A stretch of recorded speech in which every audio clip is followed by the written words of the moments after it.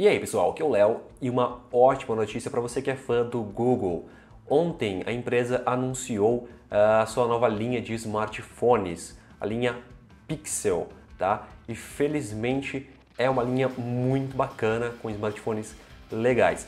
Eu já tinha trazido um vídeo para vocês algum tempo atrás, alguns meses atrás, falando que é, existia a possibilidade do Google lançar os seus próprios smartphones. Eles já tinham uma linha que era meio que isso, que era a linha Nexus, porém era uma linha em parceria com alguma marca, Motorola é, e assim vai, tá? Mas agora essa linha Pixels, é Pixel na verdade, é uma linha é, exclusiva, é uma linha do Google. O Google, né, teoricamente, é o fabricante desse smartphone e isso é muito legal. O smartphone vai trazer aí recursos muito bacanas porque, lógico, ele vai vir com Android puríssimo e recursos exclusivos do Google, tá? E isso com certeza é ótimo. Uma coisa exclusiva que já vem logo de cara nesse Android, nesse Android não, nesse é, smartphone, nesse Android também, é claro, é o Google Assistant, que é um assistente do Google muito legal, tá? E facilita demais a vida, tá? Outra coisa legal é o Pixel Launcher, que é o novo launcher do Google, tá? O launcher anterior era o Google Now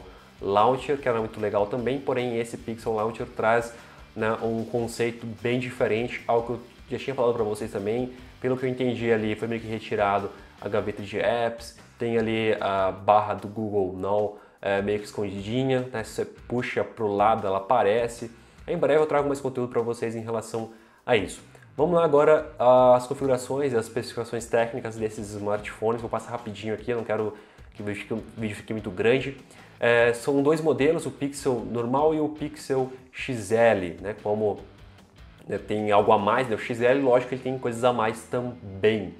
Basicamente, eles é, são smartphones bem potentes, né? bem com uma tela de 5 polegadas, no caso do Pixel, uma tela Full HD e uma bateria de 2.700, é, 2.770, na verdade, miliamperes. Já o Pixel, o Pixel é, XL vem com uma tela QHD de 5.5 polegadas e uma bateria de 3.450 mAh.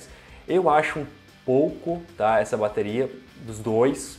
É, lógico, tem que ver a qualidade da bateria, tem que ver é, o sistema vai ser bem leve. acredito que o sistema está muito leve, o novo Android, esse, esse launch está muito otimizado, então acredito que vai durar bastante.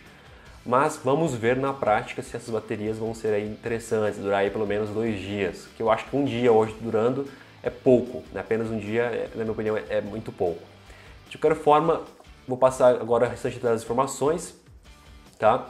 No caso do Pixel, ele vem com é, processador tá? de 2,1 GHz, é um Snapdragon 821, lembrando que esse processador também vai no Pixel XL. Memória RAM 4 GB, Pixel XL também a mesma coisa. Memória interna 32 GB e 128 GB. Mesma coisa também no XL. Então eles compartilham bastante coisa, tá? A diferença assim entre os dois não é tão grande. É, câmera traseira 12 megapixels é, e 12 megapixels também no Pixel XL. Frontal também 8 megapixels em ambos. É, então, na questão de câmera, é a mesma coisa dos dois smartphones. Uma coisa muito legal é que o Google prometeu que essa câmera seria a melhor câmera já feita em um smartphone. E realmente é mais ou menos isso. Tá? Um site especialista em câmeras de smartphones deu a nota 89, que é a maior pontuação até hoje né, que uma câmera de um smartphone ganhou. O que tinha recebido a nota maior anteriormente era um smartphone da HTC, o HTC 10, que recebeu 88. Então, em termos de câmera, realmente esse smartphone é espetacular. Tá? Continuando é, na, na questão da tela que eu falei antes, o Pixel tem uma tela Full HD né, e o uh, Pixel XL tem uma tela QHD, então a resolução muda bastante até, são 1920 por 1080 contra 2560 é, por 1440. A densidade de pixels, de pixels também muda, 441 no, no Pixel né, e, e 534 no Pixel XL. Né, enfim, então a mudança mesmo de um para o outro na questão da bateria, que é um pouco maior no, no XL, a tela que é maior, 5.5 contra 5, a resolução da tela que é um pouco maior, densidade de pixels também um pouco maior. O restante tudo igual, memória, memória interna, processador, câmeras e é basicamente tudo igualzinho. Outra coisa, o smartphone também possui um leitor de digital atrás, que é muito bacana, tá? Então você não precisa ficar desbloqueando o celular com uh, um código, com alguma coisa assim na tela. Simplesmente coloca o dedo e desbloqueia o seu smartphone. Infelizmente não tem previsão disso chegar aqui no Brasil, tá? É, infelizmente mesmo porque é um smartphone muito legal, mas como sempre dá para importar. É um smartphone que acredito que vale sim a pena importar, porque você vai ter um smartphone por bastante tempo e sempre vai estar recebendo o novo Android, todo o suporte direto do Google. Você não vai depender, vai depender de, uma, de uma fabricante, Samsung, Sony, que demoram anos para liberar uma atualização. Tudo direto do Google, rápido e mais seguro. Tá? Lá fora ele vai custar a partir de 649 dólares. É um preço aí é, para competir diretamente com o iPhone. Inclusive o design dele lembra um pouco o iPhone em alguns aspectos.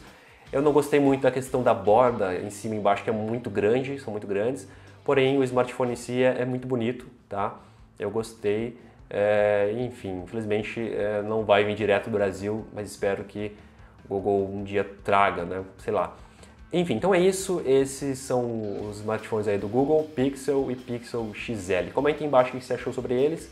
Eu fico por aqui, um grande abraço e até o próximo vídeo.